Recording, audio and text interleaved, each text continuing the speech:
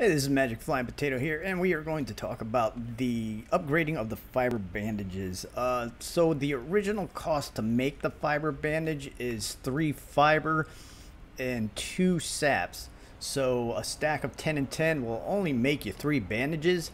So once you get enough science points and you've gotten the other things that you want to get with the science points, just come over to uh, the Burgermeister guy right here and click on science.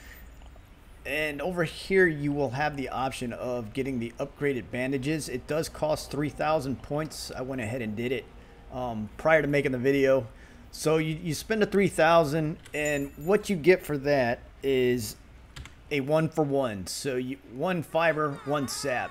So a stack of 10 and 10 are going to make you 10 bandages compared to three bandages which is which used to be the three and two.